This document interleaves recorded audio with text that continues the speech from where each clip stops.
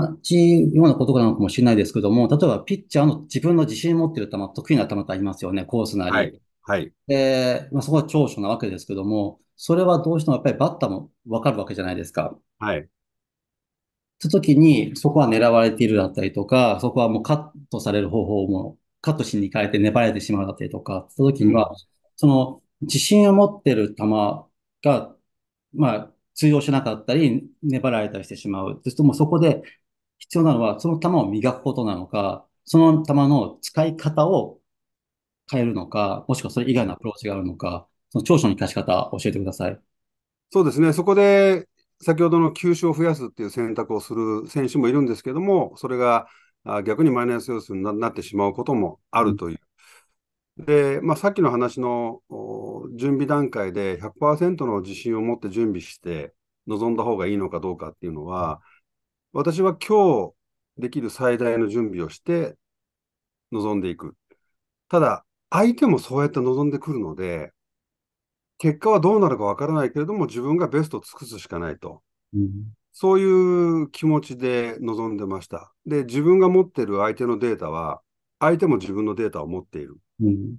で、自分の弱点も相手は知っている。うんということは、あお、お互いのそのデータとか読み合いっていうのはあるんですけども、でもだからといってその日にできることが特別増えるわけでもないですよね。うんだから今日の準備をして、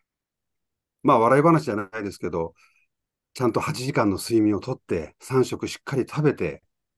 で、試合に臨んでめった打ちをされる。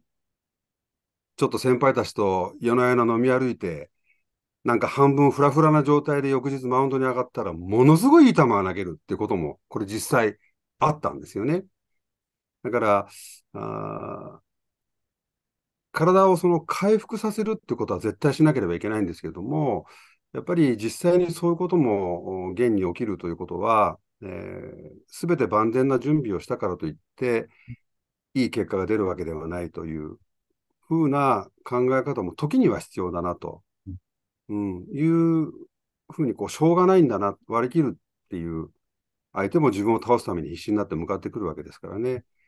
だからそこは、僕はどちらかというと、苦手なところを一生懸命頑張って何とかしようっていうよりは、あいくつか持っている武器を磨きに磨いて、もう相手に諦めさせるようなあ形の方が、自分自身の気持ちもすごく前向きにというか、プラスになると思うんですよね。はい。ありがとうございます。この辺、二つの球種で勝負していたジュリさんいかがでしょうか？いや私はもう2種類しかやってないからそういうことですよ。もうこ答え、もう絶